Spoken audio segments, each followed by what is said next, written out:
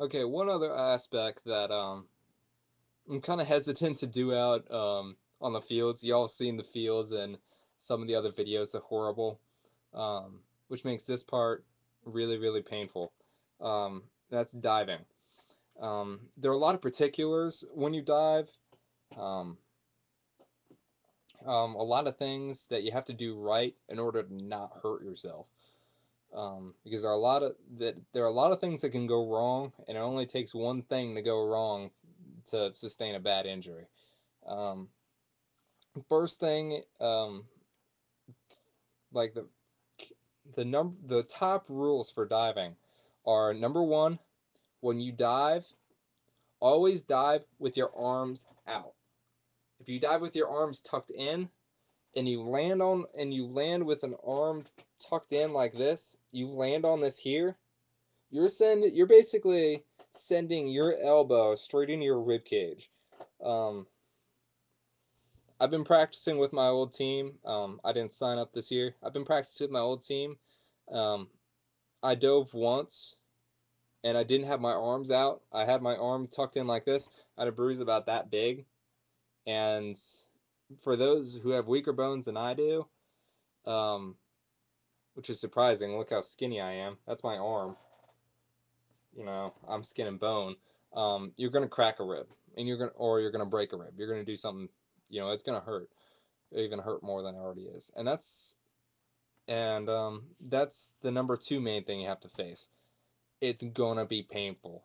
It's gonna be really, really painful, and there's nothing you, there's no way you can get escape that fact.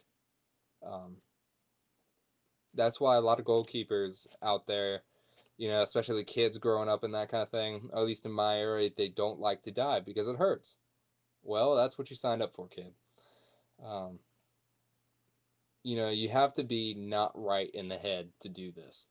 Um, you know, if you don't want to be standing around half the game to throw your body once or once or 10 times and um, not complain about it.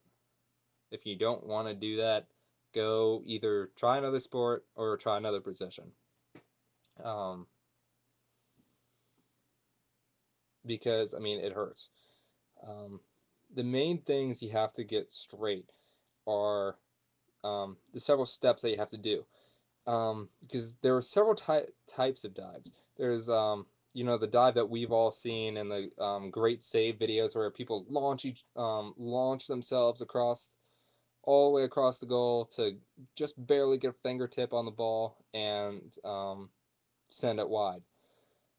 And there's also another type of um, dive called a collapse dive, and that's basically when you literally just fall to one side or the other, but like let your feet give out from under you and let gravity do the rest of the work um, let gravity do the rest of the work and land on your shoulder. Always land on your shoulder. Do not land on your hip. If you land on your hip, you're going to break it off. Um, I'm pretty sure I made that mistake once. I'm pretty sure I broke off my hip. Um, it bruised, it swelled. Um, so, I mean, I might have, and, you know, just just don't do it. Take my word for it. Um, and you can do that on either side on shots that are almost kind of almost straight at you but um, a little bit more to the side. Um, things that are a little bit more out of your reach that you can't just run to or whatever uh, shots that are really hard. What you have to do is you stand at a wide base you know your feet shoulder width apart. What you do is let's say the ball is going that way. That way and I'm standing here, I'm going to want to take the foot that's on this side and push going that way, sending my entire body mass moving this way, moving that way. Um, and that's that starts the motion. And then once you get, um, if this is my right foot and my body's completely in line with that, that's when you want to push off with your right foot in like a diagonal direction, upward, upward, and to the right. To my right, to your left. Um, push up in that way. and like I said, dive with your arms out. Try to get to the ball. And um, again, when you when you're flying through the air, you want to kind of let's see if I can get this angle right. It's a weird angle for the camera. Go from sending that way to kind of landing like this. You want to kind of land like this so you can land on your shoulder. If you dive like completely straight out, you know, you're going to land on your hip first and you're going to break it off. You kind of slant down a little bit so you kind of crash you kind of crash into your um, shoulder and stop. Um,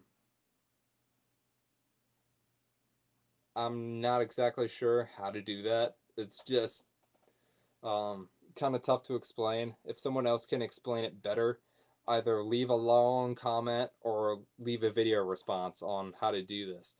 Um, because this has been uh, one of the weakest points for me is um, the technique involved with diving.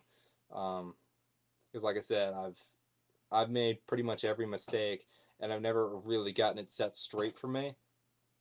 Um, so this is going to be uh, one of those times where y'all have to take over and really show, you know, the proper technique for this, because um, these are about the only things that I've kind of picked up on.